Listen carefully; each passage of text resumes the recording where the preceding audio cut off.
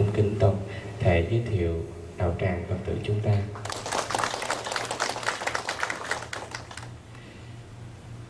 Nam mô Bổn Sư Thích Ca Mâu Ni Phật. Kính bạch Thượng tọa giảng sư chứng minh. Kính bạch chư tôn thiền đức. Chủ tịch luật đã hình thành và phát triển hơn một thập kỷ đi qua trong một tinh thần dấn thân vì đạo hy sinh đã trải qua bao thăng trầm và lễ đầu tiên của nước Mỹ.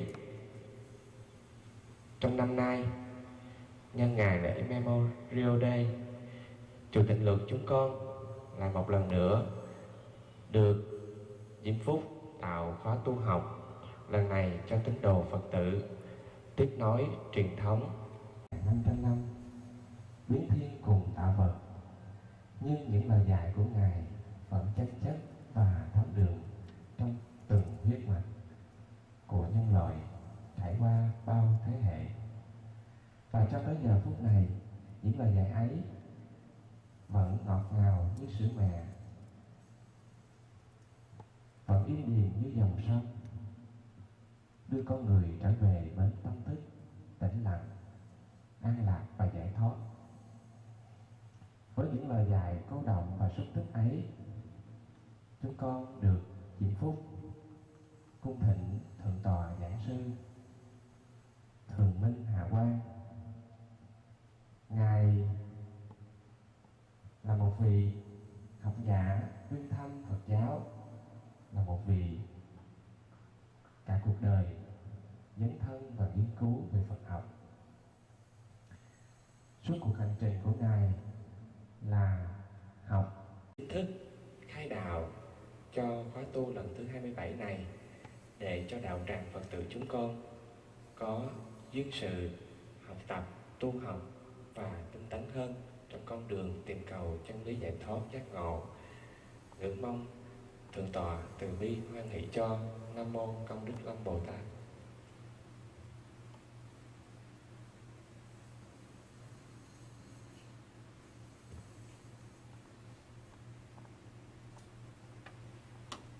Mô bổn sư thích ca mâu ni phật.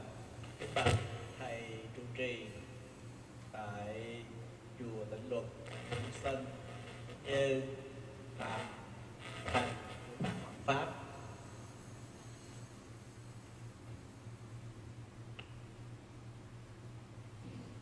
Cũng như cùng tất cả quý chư tăng ni,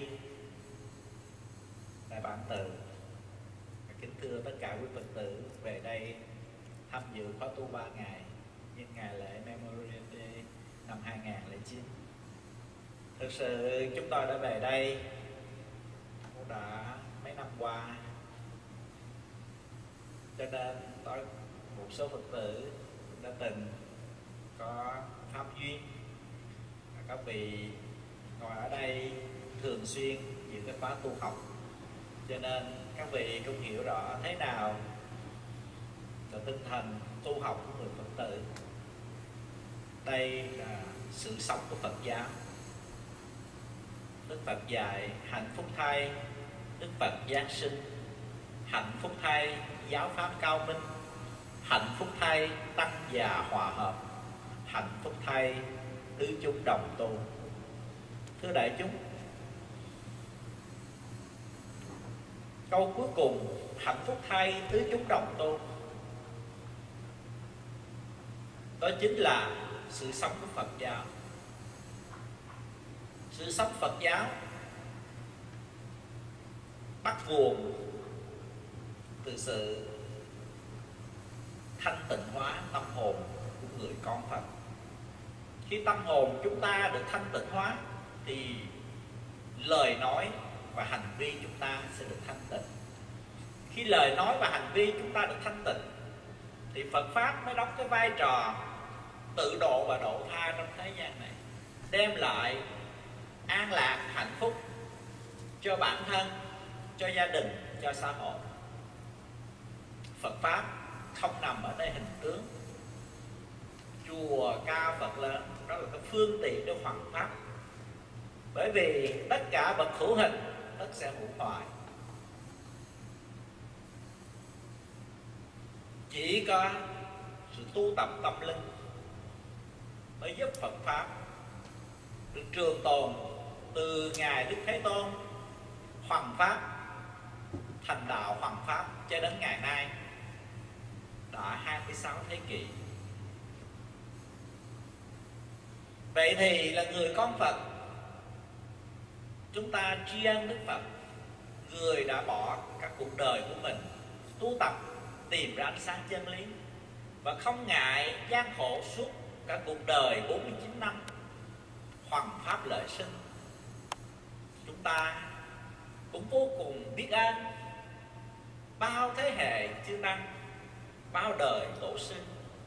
Các ngài đã hy sinh tất cả vì hạnh phúc của số đông, vì hạnh phúc của nhân thiên, vì hạnh phúc của con người mà các ngài đã dấn thân vào con đường hoàng pháp đầy giác khổ từ các vị tổ sang thiên trúc, thỉnh kinh, dịch sách cho đến các vị tổ khai sơn tạo tự hoàn pháp lợi sinh, để dòng sửa pháp.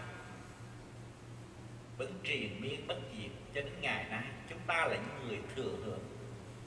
Vậy hạnh phúc thay tứ chúng đồng tôn, người xuất gia đã tu và người tại gia cũng phải tu. Đó là niềm hạnh phúc lớn, bởi vì có tu chúng ta mới hiểu được chân lý.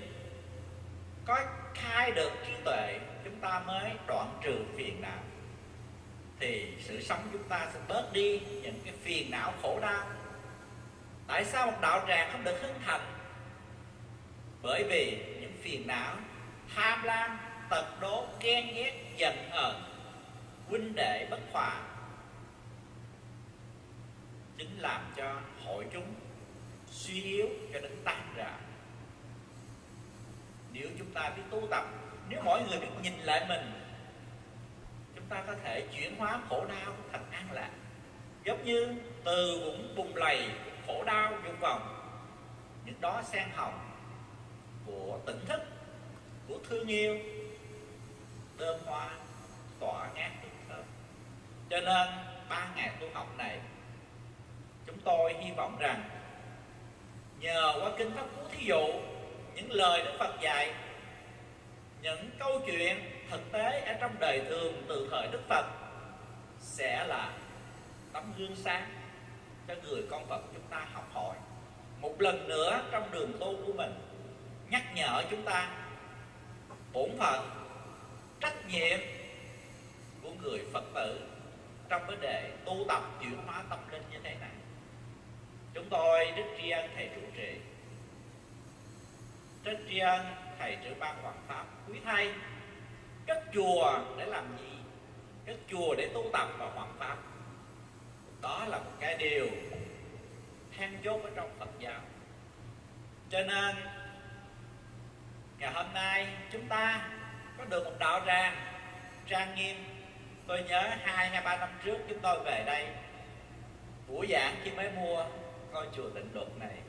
Thầy trò mình còn sinh hoạt trong cái túp liều bãi, đúng không ạ? À? thầy còn nhớ trời mưa dột. Thầy trò mình phải chạy đôn, chạy đá đi kiếm chỗ để cho tránh mưa. Thế thì qua mấy năm nay, nhờ sự nỗ lực của chư tăng, nơi chùa tịnh luật mà chúng ta có một cái nơi so với trước an ổn hơn nhiều để mình có điều kiện tu tập tốt. Cho nên với cái lòng tri ân, với sự tha thiết, thầy trò chúng ta xin đối chúng ta bảo mình phát nguyện. Ba ngày này, hãy tu tập cho xứng đáng, hãy tu tập cho thành tâm, hãy tu tập cho có kết quả qua cái tư tưởng của mình thanh tịnh, mình hiểu biết hơn, mình bao dung hơn, mình thương yêu hơn. Qua cái lời nói, mình nói những lời từ ái hơn, nói những lời thương yêu hơn, nói những lời khích lệ, những lòng nhau hơn. Qua những hành vi của mình, những cử chỉ của mình hòa dịu hơn, những cái hành vi của mình cảm động lòng người hơn. Những cái cách sống của mình là cái tấm gương đẹp hơn để cho người xung quanh của mình được hưởng cái sự an lạc hạnh phúc bên mình. Đó là chúng ta đền ơn Phật, đền ơn tổ, đền ơn chư tăng và nhất là hiển tiền. Đền ơn nơi quý thầy đã tạo chúng ta một đạo tràng thanh tịnh, chúng ta tu học như thế này. Đó là chúng ta, ý nghĩa của ba ngày tu học. Chúng tôi rất rất là mong quý phật tử đối trước tam bảo mình phát một cái nguyện cầu xin đức phật gia hộ cho con. Trong ba ngày này, từ tư tưởng của con, từ lời nói của con, từ việc làm của con, xin xa rời những phiền não để cho con được biết rõ hơn thế nào là công ơn của Phật tổ. Để con được biết rõ hơn thế nào là ân nghĩa của những người hỗ trì cho mình tu tập từ những người vất vả ở nhà bếp. Cho đến những kẻ phải bận rộn lắng sang bên ngoài để cho mình được thanh tịnh yên ổn giờ phút này. Và con nguyện đem tất cả công công đức của mình để hồi hướng về chùa Tịnh Luật nơi đây. Sớm của ngài được hoàn thành để cho Phật pháp được tỏ ra. Không những ở Houston này, mà còn cho khắp nơi Phật tử, các nơi xa cái dịp về đây tu học. Đó là công đức, đó là tấm lòng con xin nói trước Đức Phật. Cầu nguyện ngài gia vị cho tâm nguyện chúng con được thành Nam mô Bổn Sư Thích Ca Mâu Ni Phật. Nam mô Bổn Sư Thích Ca Mâu Ni Phật. À, chúng con vô số pháp môn. Thì đến nay Đức Phật đã nhập diệt à, gần 2.500 năm rồi. À, nhưng mà giáo pháp của ngài hiện vẫn còn tồn tại. À, và với chủ trương à, giới thiệu à, những phần giáo pháp của chư Phật chùa Tịnh Luật đã tổ chức rất là nhiều khóa tu học à, hoặc là về luật tông à, hoặc về bộ đề tâm à, hoặc về về mật tông à, và hoặc về những cái à, lời dạy của Đức Phật à, trong đời sống à, thường nhật của Phật tử à, và à, những cách luyện tâm trong tu hành hoặc là những cách thiền định. Thì nhằm giới thiệu như vậy thì à, à, ngày hôm nay chùa Tịnh Luật có được cái hân hạnh là mời được à, giảng sư à, thượng tọa Thích Minh Quang à, quan lâm tới chùa. Thì buổi học này nó tương đối à, là một giới thiệu một cái à, à, môn học mà nó rất là hữu ích trong cái à, sự đào luyện về cái lối sống đạo đức ở trong gia đình trong xã hội. À, và nếu mình có thể áp dụng qua thiền định thì nó cũng là một cái lối tu tập rất là hữu hiệu trong thiền định. À, cái pháp học này á, thì tương đối rất là gần gũi đối với những người tại gia. À, dụ gì học mà có thể thực hành được liền. À, và có thể là mặc dầu là Đức Phật nói là trong cuộc đời này nó đầy những khổ đau đầy những cái vô thường những cái bất trắc. À, à, nhưng mà nhờ những cái lối giảng dạy thì mình có thể chuyển hóa những cái bất trắc đó à, thành ra một cái à, hạnh phúc an lạc à, tạm thời trong cái đời sống rất là à, phiền muộn à, và bấn rộn của như đời sống ở Mỹ. Thì à, đây là một cái à, dịp mà à, thật sự ra cũng phải là à, rất là quan nghênh quý vị Phật tử là trong những cái ngày mà một năm mình nghỉ có lễ có mấy ngày thôi. À, à, những ngày như vậy đó à, mà mình đã cố gắng hay là bỏ hết những cái ờ, vui trong cái phạm tục và đi đến chùa à, để nghe những lời pháp nhũ à, của Đức Phật à, qua lời giảng dạy của quý thầy. Thì à, mong chư Phật chư vị Bồ Tát hiện Tinh Tăng à, hộ trì cho quý vị à, trong ba ngày này mọi việc đều yên ổn. À, tâm nó thanh tịnh sáng suốt à, có thể thu nhận được à, tận cái thâm sâu của quý thượng tọa mà giảng dạy ở đây. À, và sự ghi nhớ này nó sẽ theo mình cho khi đến khi mình về nhà à, để mình có thể thực hành áp dụng trong cái đời sống hiện tại à, để mà thấy được cái di diệu về cái à, cái pháp của Đức Phật dạy trong mọi hoàn cảnh. À, à, chúc cho quý vị à, được thâu nhận như ý. À, chúc cho quý vị à, không có những cái phiền não ở nhà để mà có yên tâm tu tập trong những ngày hôm nay. Dạ nam mô bổn sư thích ca mâu ni phật. Gọi điển để làm sao à, với tâm nguyện của thầy là là một gạch nối giữa thế hệ phật tử đặc biệt là những phật tử à, tại bản xứ hoa kỳ này. Thường tòa đến mỹ à, không bao lâu chỉ hơn 5 năm. Nhưng à, với cái tinh thần học tập học hỏi của thượng tọa là một tấm gương rất sáng để cho à, thế hệ mai sau đặc biệt là như thế hệ của trí thanh nơi đây à, đàn em của thượng tọa nhìn đó mà sách tấn hơn trên bước đường à, học tập và hoàn pháp lợi sinh kính thưa quý vị mặc dầu thời gian ở tại hoa kỳ không bao lâu à, nhưng hiện tại thượng tọa đã à, và đang chuẩn bị để bảo vệ một luận án à, về tiến sĩ tại à, trường đại học ở phía à, Michigan chuyên về à, Phật giáo cũng như những lịch sử à, triết học của phương Đông. À, kính thưa quý vị, cuộc đời của thượng tọa cho tới giờ phút này, ngày xưa khi thượng tọa còn ở Việt Nam à, đi học rất là khó khăn. Trong cái giai đoạn vào thập niên 80 mấy 90 à, Việt Nam vào bối cảnh rất là khắc nghiệt. Nhưng với một cái tâm huyết luôn luôn học tập và nghiên cứu tìm tòi để lại cho hậu thế những cái nền tảng à, trí thức chân thực nhất về Phật giáo và cho chúng ta không bị nhầm lẫn giữa đạo Phật và những tôn giáo khác khi pha trộn vào Phật giáo.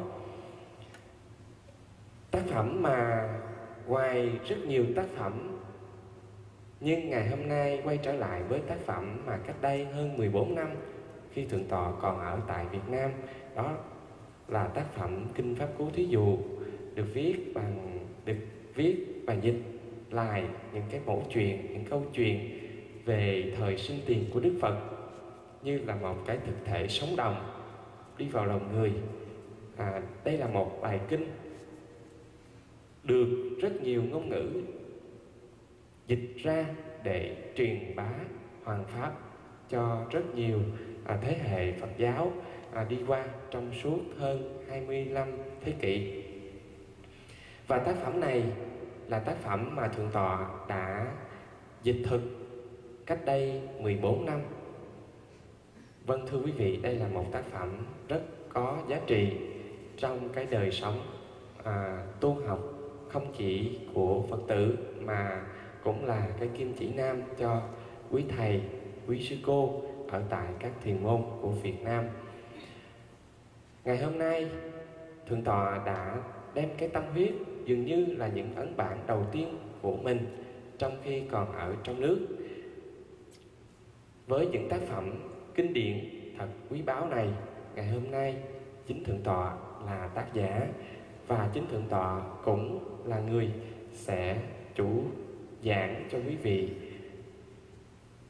về đề tài trong những tác phẩm, những cái phẩm kinh của Kinh Pháp Cú để làm kinh chỉ nam và làm cho đời sống của quý vị được thanh tịnh hóa hơn trong cái cuộc hành trình mà chúng ta đi tìm chân lý giải thoát giác ngộ.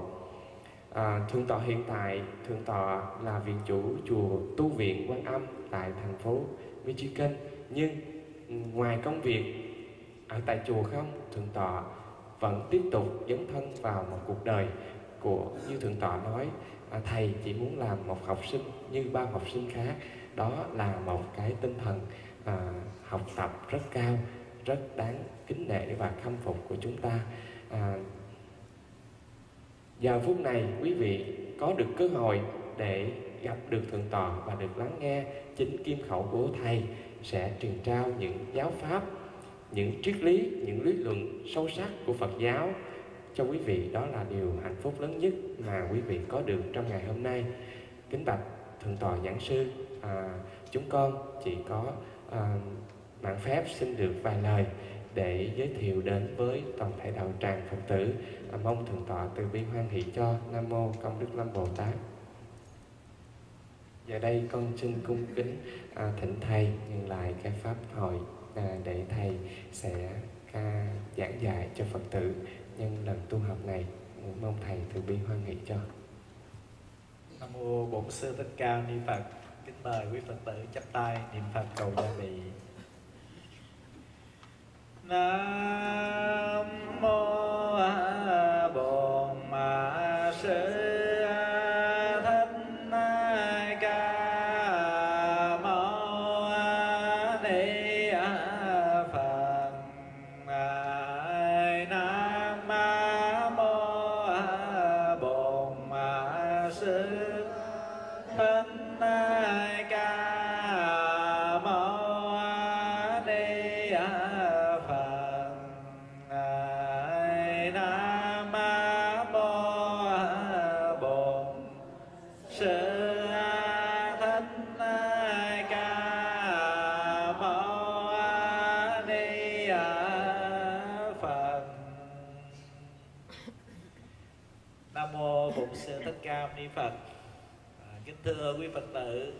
Trước hết chúng tôi xin có lời cảm ơn à, đạo tình sự quý mến của thầy Trí Thanh đối với chúng tôi qua lời giới thiệu. Thật sự chúng tôi cũng không có đến nỗi như vậy. À, cái mình không có đức độ cũng không có trí tuệ. Thầy quý à, thầy tán thán nhưng mà thật sự rất là hổ thẹn. Yeah, so với à, nhìn lại các tiền bối đi trước và chúng tôi rất là hổ thẹn và chỉ làm được một gì rất là nhỏ nhoi. À, đối với đạo đó là tâm nguyện của mình. Mà thầy quý à, thầy tán thán vậy thì xin ghi nhận tấm lòng nhưng bản thân à, cảm thấy à, không có được xứng đáng với những gì mà thầy tán thán.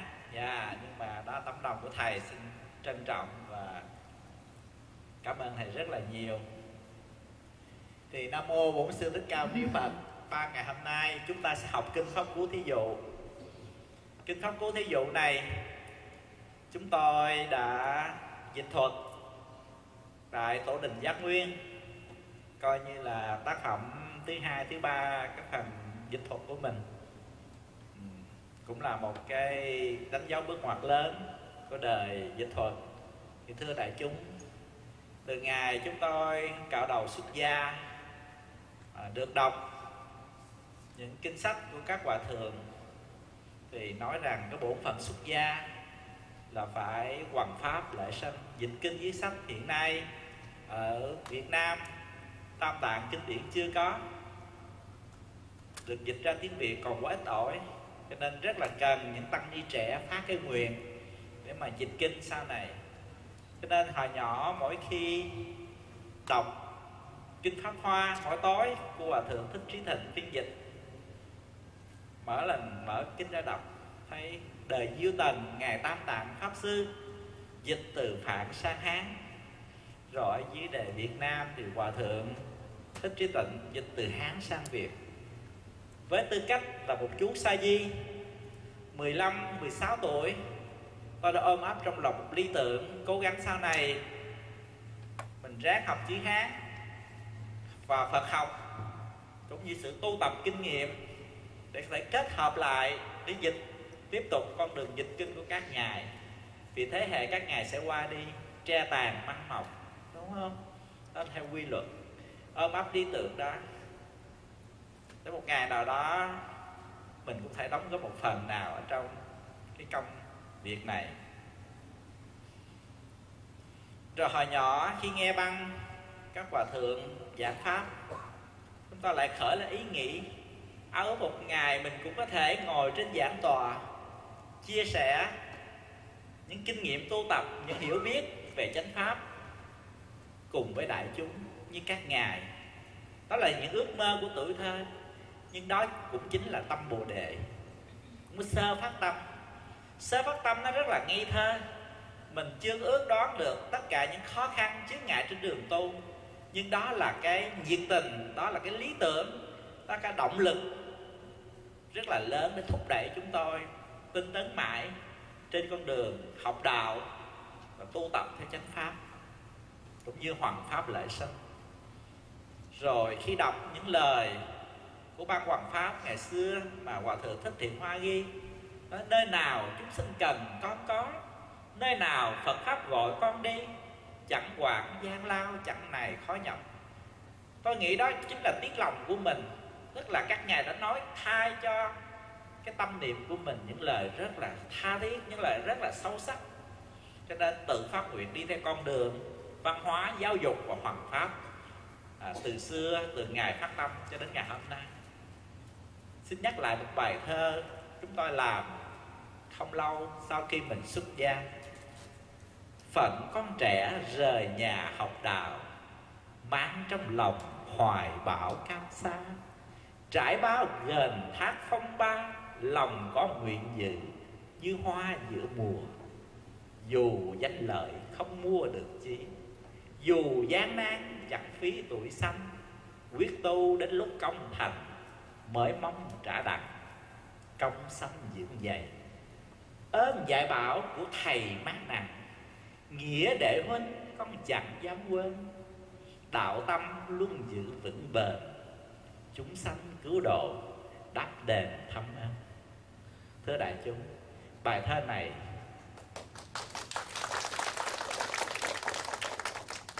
như là tiếng chuông, tự cảnh tỉnh mình, tự nhắc nhở cho mình, tự khích lệ lấy mình trên con đường. Dù càng ngày càng lớn lên trên con đường hoàng pháp lợi sinh, mình cũng gặp rất là nhiều chướng ngại, rất là nhiều khó khăn.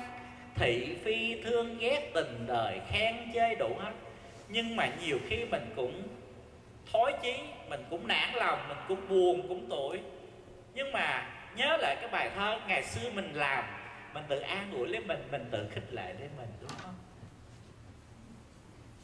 Ta vẫn là ta, tự thuở nào, dù đời thay đổi có ra sao, dù bão cay đắng trên đường đạo, mà biển thương yêu vẫn dạt dào.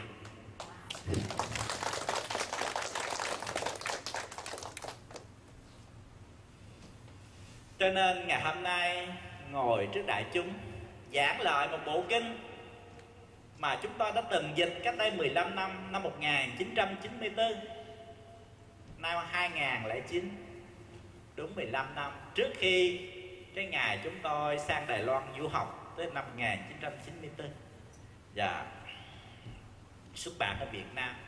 Nên bồi hồi nhớ lại những kỷ niệm của cuộc đời hoàng pháp của cuộc đời tu học với mình.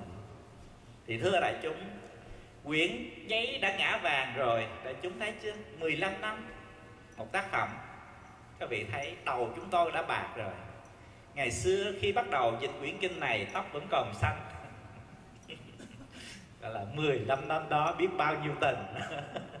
Rồi 15 năm luân lạc. À, ừ, bây giờ trở lại cho nên có những cái tình cảm nó rất là sâu sắc khi mình ngồi đối diện là những nguyên kinh mà mình từng để mà sống với nó. Và chúng tôi nói dịch kinh là mình sống với kinh. Và bởi vì chúng tôi dịch bằng con tim của mình, chứ không phải chỉ dịch bằng cái đầu của mình. Thưa đại chúng, hôm nay chúng ta giảng học kinh pháp cú thí dụ trong khóa tu này. Trước hết chúng ta hãy tìm hiểu ý nghĩa bốn chữ là pháp cú thí dụ, đúng không? Dạ. Thì trước hết, nói hai chữ pháp cú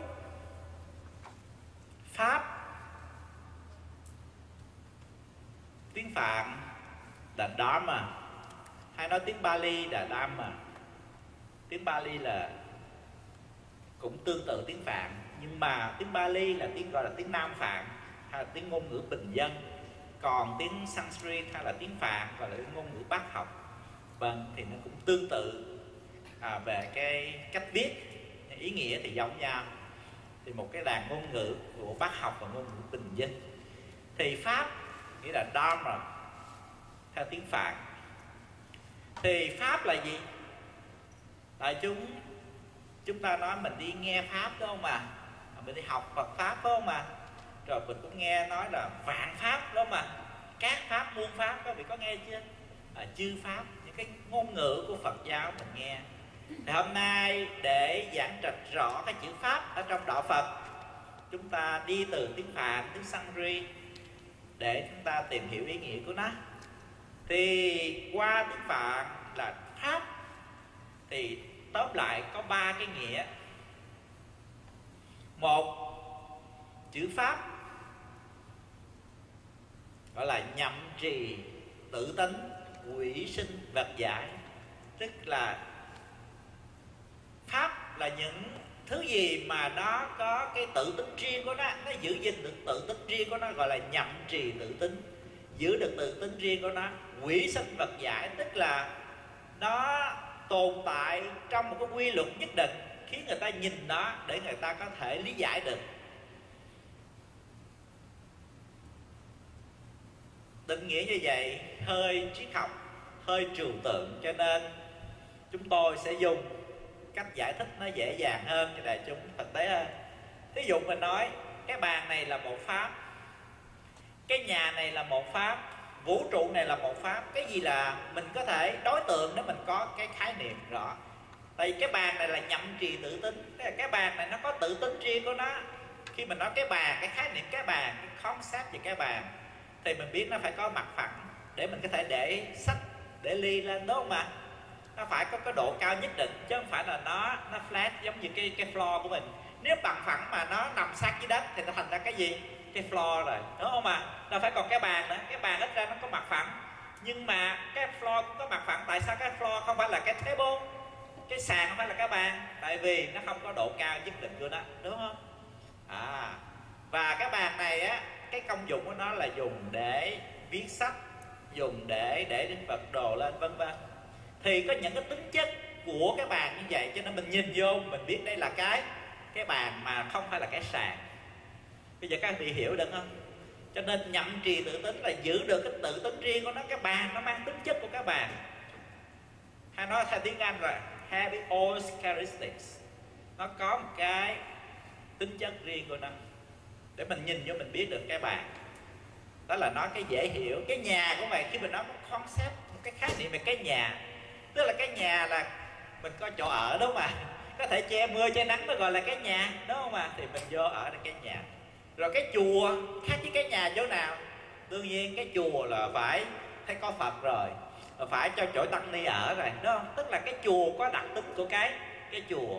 Cái nhà thì có đặc tính của cái cái nhà thì tất cả cái gì, những cái concept gì đó mà nó có cái đặc tính riêng để mình có thể phân biệt giữa cái này khác với cái kia, thì đều gọi là là pháp. Cho nên nó vạn pháp, các pháp các vị có nghe từ này không? Vậy thì hỏi đại chúng, chữ vạn pháp với chữ vạn vật nó khác nhau chỗ nào? Thì thật sự vạn pháp có nghĩa là rộng chữ vạn vật, nó có điểm chung của nó nhưng mà khi trong kinh Đức Phật nói vạn pháp, nó bao gồm cả thế giới của vật lý, thế giới của sinh lý và thế giới của tâm lý. Tại mình có thể phân chia thế gian này qua ba loại. Một là vật lý là vật chất đó mà. Hai là sinh lý, tức là cái phần vật chất mà liên hệ đến đời sống. Organic, đúng không? Và thứ ba là cái phần psychology. Là gì? Là cái tâm lý thì cái tâm cái vật lý thì mình có thể gọi là vật được đó không ạ? Cái nhà cái bàn thì mình gọi là vật. À nhưng mà tới cái sinh lý thì mình gọi là cái thân. À, gọi là body đời tức là chỉ về liên lạc cái thân cái mà liên lạc cái đời sống cái life. À, organic đời sống hữu cơ. Và sâu hơn chút nữa thì cái thân này mình có thể mà observe được, mình nhìn nó được. Nhưng mà có một cái trừu tượng, mình có hiện hữu, nhưng mà mình không thấy, dùng bằng mắt để mình thấy. Không thể dùng tay để mình sờ, không thể dùng lưỡi mình nếm. Đó là gì đại chúng? Tâm lý. Tâm lý mà không thể thấy được cái cái sân nó ra thế nào, thấy được cái tham ra thế nào. Mà không thấy được cái tâm lý phần ở bên trong.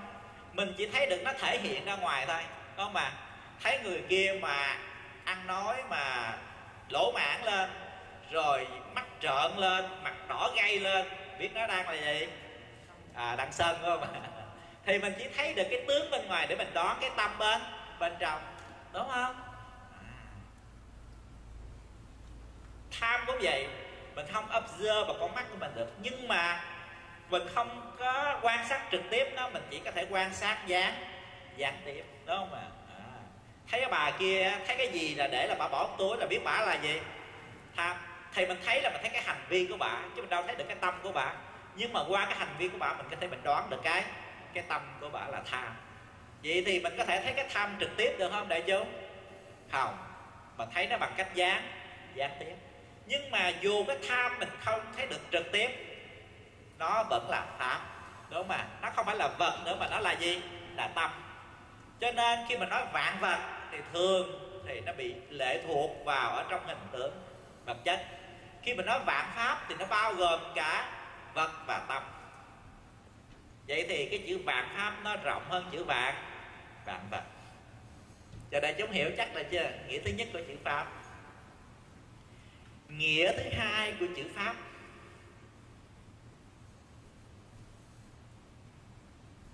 Đó là gì? Nghĩa thứ hai của chữ pháp đó là cái chân lý tuyệt đối. Cái bản chất của vũ trụ, bản chất của vạn hữu. Cái quy luật, gọi là nature law. Cái quy luật tự nhiên. Cái mà đức phật gọi là niết bàn. Cái mà đức phật gọi là bồ đề. Cái mà đức phật gọi là chân như. Cái mà đức phật gọi là giác ngộ. Đức phật gọi là giải thoát. Đó là những danh từ khác của chữ pháp. Hay có nghĩa chân lý tuyệt đối. Cho nên mình nói, ngộ pháp, chứng pháp, thì cái đó đều gọi là chân lý tuyệt đối. Nó nghĩa thứ hai của chữ dharma là nghĩa là chân lý tuyệt đối. Và nghĩa thứ ba của chữ dharma, nghĩa là giáo pháp. Tại vì cái lời đức phật dạy, mục đích giúp chúng ta giác ngộ. Mục đích giúp chúng ta chứng được niết bàn. Mục đích giúp chúng ta được giải thoát.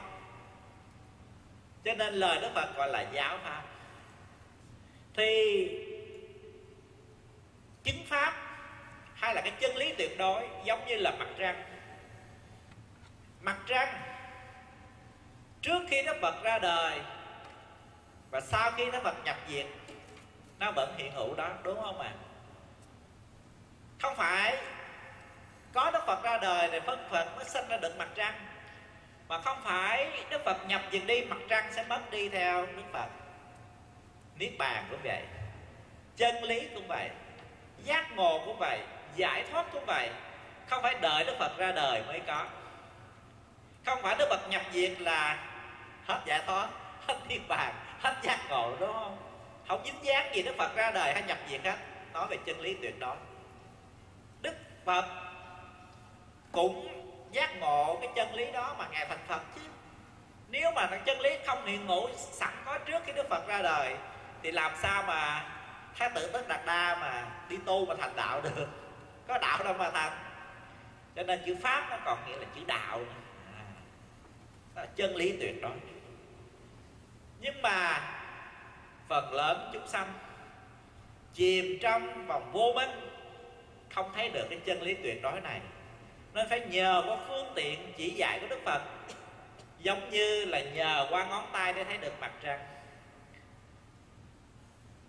Nhờ ngón tay thấy được mặt trăng thì lời dạy của đức phật dụ cho là ngón tay. Đúng không ạ? À? dụ ngón tay. Ví dụ một người không biết mặt trăng là ở đâu? Biết mặt trăng là gì? Hỏi đức phật, bạch đức thế tôn. Mặt trăng ở đâu? Where's the moon? Đức phật chỉ, here or there, đúng không ạ? À? thì vậy đức phật chỉ đó là mặt trăng. Thì đức, thưa đại chúng, đức phật có chỉ tụng cái mặt trăng gì cho mình thấy không? Không đức phật chỉ chỉ cái direction rồi đó mà kia là mặt trăng. Vậy thì mình phải đương theo cái hướng tay chỉ của đức phật để mà nhìn thấy mặt trăng. Nhưng mà nếu mà cái người chấp á, mặt trăng ở đâu? Rồi nói mặt trăng kia, ồ, mình nhìn ô có hiểu rồi, mặt trăng là ngón tay. Hỏi đâu thì mình đưa ngón tay thì người đó lại tưởng nằm ngón tay là gì? Là mặt trăng. Là đúng hay sai? Sai. Vậy thì ngón tay là giáo pháp, mà mặt trăng nó mới là chân lý tuyệt đối, đúng không ạ? Mình nương ngón tay ra thấy được mặt trăng, mình nương lời dạy đức phật để tu tập, để chứng được giáo lý đó. Thì đó, lời dạy đức phật gọi là giáo giáo pháp. Còn mà mặt trăng mà thấy được mặt trăng gọi là chứng pháp. Còn bản thân mặt trăng gọi là lý pháp hay là chân lý tuyệt đối. Cho nên, cái chữ pháp có những nghĩa như thứ nhất, chữ pháp lặp lại ta ôm lại, ha. Tại vì tối thứ bảy thầy báo trước cho các vị cố gắng, ha. Tối thứ bảy có cái buổi tối thầy trò mình sẽ có cái gọi là ôm lại, ha, cái kiến thức, cái học hỏi của ba ngày này. Tối thứ bảy. Tối chủ nhật. Tối chủ nhật, ha, tối chủ nhật. Tại thường là khóa tu thứ sáu, thứ bảy, chủ nhật. Hôm nay mình hơi đổi lại là thứ bảy, chủ nhật thứ hai, cho nên thầy hơi lộn cho tối chủ nhật sẽ có cái vấn đề mà thầy ra đề để thi á. Nhưng mà cái đó không quan trọng không? Nhưng quan trọng là các vị tinh tấn không? Các vị có chú ý, có ghi có thể ghi nhận được không? Thì những cái đề thi này thầy sẽ ra sao? Nhưng mà đây là những cái có thể hỏi ở trong khi mà thầy hỏi. Không? Thì chữ pháp tóm lại, có mấy ý. Thứ nhất là chữ pháp là chỉ cho tất cả sự tồn tại. Pháp là chỉ tất cả sự tồn tại, dù là vật lý, sinh lý hay tâm tâm lý. Hay là nói khác đi, dù là vật chất hay là tinh tinh thần nghĩa thứ nhất của chữ pháp. Nghĩa thứ hai của chữ pháp là chỉ cho lý pháp và chứng pháp. Lý pháp là chỉ cho bản thân của chân lý, hay là chân lý tuyệt đối. Và chứng pháp là cái khả năng ngộ được cái chân lý đó, gọi là chứng pháp. Và cái nghĩa nữa, thứ ba nữa là lý pháp và chứng pháp, nó là hai mặt của cùng một vấn đề đó là chân lý tuyệt đối. Một là chân lý tuyệt đối bản thân và hai là chứng pháp là chứng ngộ được cái chân lý tuyệt đối đó. Và nghĩa thứ ba của chữ pháp đó là gì? Là giáo giáo pháp, những lời dạy của đức phật. Cho nên, lý pháp là gì? Là mặt trăng. Chứng pháp là thấy được mặt mặt trăng.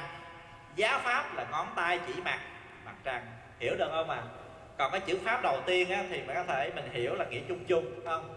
Nhưng mà trong đạo thường dùng á là lý pháp chứng pháp và giáo pháp. Hiểu được chữ pháp chưa? Cho nên trong đạo phật có một chữ nếu mà hiểu tới nơi đi chốn thì nó rất là sâu sắc. Mình nghe thường nhưng mà mình không có quan tâm tới thì mình cũng không có thấy được cái sổ sâu sắc của cái triết học phật giáo.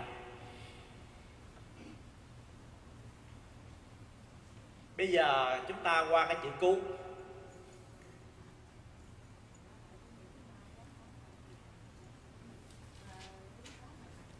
lý pháp là bản thân mặt trăng. Chứng pháp là thấy được mặt trăng, nhận được mặt trăng. Giáo pháp là ngón tay để chỉ mặt trăng. Còn nghĩa đầu tiên của chữ pháp là vạn pháp là chỉ cho tất cả không mà trừu tượng hay cụ thể, dù là vật chất hay là tinh thần, hoặc là thân và tâm hoặc là vật lý sinh lý và tâm tâm lý. Cho nên nó vạn pháp không? cho nên nó vạn pháp duy tâm tạo. Tất cả muôn pháp do tâm tạo. Là trong cái nghĩa đó là cái nghĩa là là chữ pháp nghĩa rộng của nó. Bây giờ nói trở lại chữ cú. Cú là gì? Tiếng việt nó cú là câu hơn mà nhưng ở cái chữ cú á, có nghĩa là trong sách định nghĩa là cứu giả vị chương thuyên nghĩa cứu cánh. Cứu là chương cứu hay là một cái đoạn văn chương mà giải thích cái ý nghĩa cứu cánh? Hay là cứu đây có nghĩa là một cái câu trọn vẹn, một câu pháp trọn vẹn, mang chuyên chỉ nghĩa trọn vẹn. Mà thường cái câu ở kinh điển thì thường ở hình thức cái bài kệ nên pháp cú là những cái bài kệ pháp cú thường nằm ở dạng bốn câu. Đó là thông thường ở dạng bốn câu. Thì bốn cái câu kệ mà diễn ra hết cái ý nghĩa mà đức phật muốn nói thì gọi là một cái cú bài kệ. Cho nên ở trong kinh,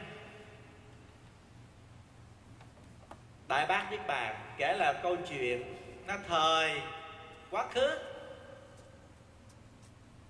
của đức phật ca diếp khi mà chánh pháp đã qua, tượng pháp cũng qua, mạt pháp cũng qua, tất cả kinh điển đều tiêu diệt hết. Lúc đó, nhân thiên sống trong u ám, không có chánh pháp. Thì có một vị tiên tu ở trên núi, tu khổ hạnh ở trên núi. Thì lúc đó chư thiên rất là đau buồn bởi vì phật pháp không có hiển hiện. Thì một hôm trời đế thích mới bay ngang một ngọn núi tuyết thì mới nghe một vị. Có một vị mà chân tu ở trên núi tuyết đó. Vị chân tu này thành tâm cầu đạo, tu học. Nhưng mà giáo pháp không có. Cho nên vị này tha thiết để học và truyền bá giáo pháp. Ngày hôm nay chúng ta kinh điển rất là nhiều. Nhưng mà tới cái thời hết, cái thời mạt pháp rồi hết, còn kinh điển đó là điều đau khổ bi ai của nhân thiên. Thì đế thích muốn thử cái lòng tin cũng như cái sự tha thiết tu tập của vị tiên nhân này. Cho nên mới bay ngang qua đó mới đọc nửa bài kệ của kinh của kinh kinh điển. Thì bị trời đế thích mới đọc bài kệ là chư hành vô thường thị sinh diệt pháp. Tất cả các hành nghiệp là vô thường tất cả hành nghiệp là gì? Tất cả pháp hữu vi. Hành là hữu vi. Cái gì mình tạo tác giống như mình xây chùa? Thưa là trong chùa là hữu vi hay vô vi? Hữu vi, hành, chứ hành nó thuộc về hành. Cái gì có do nhân duyên tạo thành? Chúng ta thấy dù mình có tạo tượng phật to cách mấy mai mốt, còn hay mất? Mất. Không mà giống như các vị biết cái tượng phật, hai tượng phật bằng đá khắc trong núi ở Talib ở Afghanistan không? Không mà rồi có còn tồn tại mãi không? Không? Vô thường thôi đây gọi là hành là gì? Cái gì mà mình có tạo tác? Đã tạo ra thì phải mất đi thôi. Cái luật đó không à vô thường. À, chứng hành vô thường.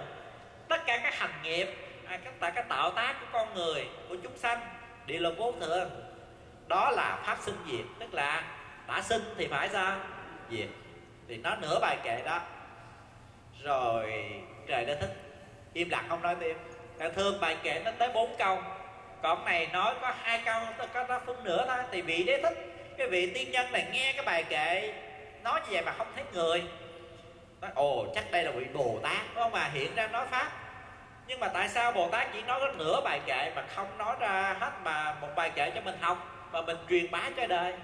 Cho nên vị tiên nhân này rất là tha thiết, khẩn cầu, nói, ai mà vừa nói nửa bài kệ đó xin hiện ra để nói hết bài kệ cho tôi tôi xin được học hỏi. À, coi như tôn ngài lên làm thầy để học hỏi. Có phải đây là bị bồ tát ra đời trong cõi đời tâm tối này không?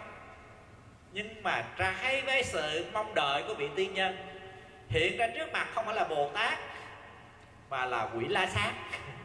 Thì ra trời đế thích mới giả đó dùng thần thông biến ra mình là quỷ la la sát để thử lòng của vị tiên nhân này mà nó thiện ra vị la sát đó. Tôi là quỷ la sát chứ không phải là bồ tát đâu. À, tôi chỉ nghe được hai câu kệ nơi đức phật nói tôi thuộc giờ tôi lặp lại thôi. Thì vị tiên nhân là nói vậy còn hai câu nữa đâu xin ngài nói đốt la sát tức là trời để thích nha giả ra nói bây giờ đói quá làm sao mà nói? Muốn cho tôi nói hết bốn câu thì xin cho tôi ăn trước cái đã no rồi mới nói chứ, có thịt mới vượt định đạo đúng không? Thì nó được, ngài muốn ăn gì ngài nói, tôi sẽ lo cho ngài là xin ngài chỉ nói pháp ra. Cho hết bốn câu để tôi học hỏi, và tôi để truyền bá cho đời đó mà để các người khác được biết cái tâm là tâm bồ tát tu cho mình mà còn lợi ích cho chúng sanh. Thì trời, thì quỷ la sát chứ, đúng là trời đế thích, là hiện ở quỷ la sát nói, ta nay rất là đói, nhưng mà ông khó mà nuôi cho ăn lắm, tại vì cái đồ ta ăn không phải là thường à, ta ăn là ta ăn thịt thôi. À, ăn thịt sống và uống máu tươi. Là thức ăn của quỷ la sát thì bây giờ vị tiên nhân nghĩ rằng làm sao mà nuôi quỷ la sát này no để mà quỷ la sát nó? Bài kệ này cho mình. Nghĩ đi nghĩ lại nó nói thôi nếu mình bắt cái bắt những con thú khác thì thành ra mình sát sanh trái lòng từ bi. Thôi giờ chỉ có một cách ta là gì? Cho quỷ la sát ăn thịt mình đó mà nó thôi được, tôi sẵn lòng để cho ngạn thịt tôi. Để ngài có thể nói kệ. Nhưng mà trước khi đó đó, tôi hứa là tôi sẽ cho ngạn thịt nhưng ngài nói tôi nghe trước, có không mà tôi mới học xong rồi, tôi có chết tôi cũng vui. Giống như lời khổng tử nói trong luận ngữ đó. Triêu văn đạo, tịch tử khả hỷ. Buổi sáng mà nghe được đạo, buổi chiều, tối chết cũng vui nữa. Cũng được nữa, chấp nhận nữa. Nên trọng cái đạo như vậy và xin ngài nói tôi, tôi nói trước rồi tôi sẽ xin cắt cái bài kệ lên những cái gốc cây những cái tảng đá trong núi để người sau đó họ có duyên gặp được họ tu tập. Thì con quỷ la sát đồng ý. Rồi nói cho ngài nghe ngài mới quán chiếu bài kệ đó xong rồi học thuộc lòng rồi đi khắc trên núi trên cây. Xong ngài nói thôi bây giờ đã xong rồi tôi xin thực hiện lời hứa. Ngài leo lên ngọn cây nhảy xuống để cho con quỷ la sát ăn thịt phải không ạ? à? Nhưng mà khi ngài vừa nhảy xuống thì quỷ la sát hiện ra trời để thích đỡ cái thân vị tiên nhân rồi đó. À, thôi hồi nãy tôi chỉ thử lòng ngài thôi. Cho nên tôi sẽ nói cho nên à, đó để chứng tỏ cái đạo tâm của ngài. Vậy hai bài kệ mà vị tiên nhân phải bỏ cả sinh mệnh của mình để cầu khẩn đó là gì? Đó là chư hành vô thường, thị sinh diệt pháp. Sinh diệt diệt dĩ, tịch diệt vi lạc. Các hành vô thường là pháp sinh diệt. Sinh diệt hết rồi, tịch diệt là vui. Hai con cuối là sinh diệt hết rồi? Khi mà cái thấy của mình, cái kiến chấp về sinh và diệt của mình hết rồi á, thì ngay đó mình chứng niết bàn. Thì đó là an lạc hạnh phúc vậy thì cái chữ cứu là gì? Cứu là thường, là một cái lời giải đức phật được trọn nghĩa, một bài kệ bốn câu cứu một cái bài kệ bốn câu, hoặc là một cái lời dạy mà trọn vẹn cái ý nghĩa thì gọi là là cứu không mà về pháp cứu là những lời dạy của đức phật về giáo pháp. Cho nên chữ pada có nghĩa là dhammapada, chữ cứu tiếng phạn là pada nhưng chữ pada cũng có nghĩa thứ hai nữa đó là cái dấu chân của mình á. Cái step của mình á, gọi là pada hay là cú. Thì các người dẫn nghĩa nếu mà pháp cú theo nghĩa đó là những dấu chân mà dẫn đến chân lý. Tức là đức phật đi trước. Đức phật đi trước và đức phật đến được niết bàn. Vậy mà nếu mình đi theo chân của người đi trước đến được niết bàn thưa các vị mình đến đâu đến tiếng bàn đó mà à? Thì đó là pháp pháp cụ đó là theo dấu chân phật phải không ạ à, à hay footprint. Chữ pada có nghĩa là footprint hay dấu chân, không à?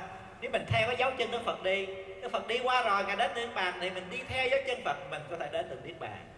Thì đó là nghĩa thứ hai của pháp pháp cụ. tịch diệt vi lạc, sinh diệt diệt chỉ tịch diệt vi lạc thì thưa đại chúng, các vị đã học qua hai chữ pháp cú. Bây giờ chúng ta bước qua chữ thí dụ. Thí dụ theo chúng ta nghĩa thông thường là mình lấy cái này để mình dụ cho cái kia, lấy cái gần để dụ cho cái xa, lấy cái đã biết để dụ cho cái chưa biết, lấy cái cụ thể để dụ cho cái trừu tượng, lấy cái quen thuộc để dụ cho cái xa lạ, đúng không anh đó là kinh nghiệm chúng ta. Ừ. thì chứ thí dụ ở đây mang nghĩa rộng hơn. Vừa là cái nghĩa thí dụ đó còn có nghĩa là giảng giải còn là cái nghĩa là những chuyện tích câu chuyện để miêu tả để làm sáng cái nghĩa cho cái kinh cho cái pháp cú những lời dạy đức phật. Bởi vì những lời dạy đức phật thường là xúc tích những bài kệ nó giống như những bài thơ nó xúc tích.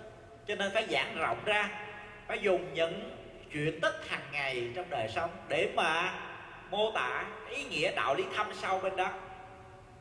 Và chuyện tích là cái mà người ta thích nghe hơn là ta thích nghe triết lý. Đồng ý? À, ta thích nghe kể chuyện à, mà con nít còn thích nữa đừng chi nó người lớn không mà. À, cho nên phải dùng cái qua văn học ngôn ngữ của kể chuyện à, người ta sẽ dễ nhớ hơn và người ta sẽ dễ tiếp thu hơn thì đó là thí thí dụ. Giống như mình cho người ta uống thuốc rồi nhưng mà nhiều người á cho uống thuốc trực tiếp á nó đắng quá. Phải sao? Bọc miếng đường. Uống vô dễ uống hay khó uống này chứ dễ uống. Cho nên mình học là mình học pháp cú nhưng mà muốn cho nó phổ thông đến mọi tầng lớp á, phải có thí dụ. Tức là thuốc mà phải bọc đường thì người ta mới dễ uống đúng không mà chứ mà để vô miệng mà đắng quá nhiều người nhổ ra liền. À tại vì trung ngôn nghịch nhị lời ngay thì trái tài đúng không ạ sự thật thì dễ mất mất lòng cho nên phải qua những cái phương tiện những cái ví dụ. Và ví dụ đã trở thành một trong 12 thể loại văn học ở trong Phật giáo mà cái thuật ngữ gọi là thập nhị bộ kinh 12 bộ kinh. Hay thập nhị phần giáo 12 phần giáo. Hay là, chúng tôi dùng ngôn ngữ hiện đại hơn, đó là 12 thể loại văn học Phật giáo. Vậy bây giờ các vị hiểu được cái chữ pháp của thí dụ rồi. Thì thưa đại chúng, Kinh pháp dụ này là truyền bản Ở bên Hán Văn. Hay là bên, Thượng Tọa Bộ. Nó có một chút khác với cái truyền bản cái Tích Lan Hay là ở bên Nguyên Thủy Phật giáo. Cho nên cái thứ tự của nó khác khác nhau. Và nếu các vị mà có đọc cái truyền bản của kinh pháp cú, của tích lan thì các vị thấy lạ cái, tại sao cùng một câu pháp cú? Mà cái chuyện tích khác nhau.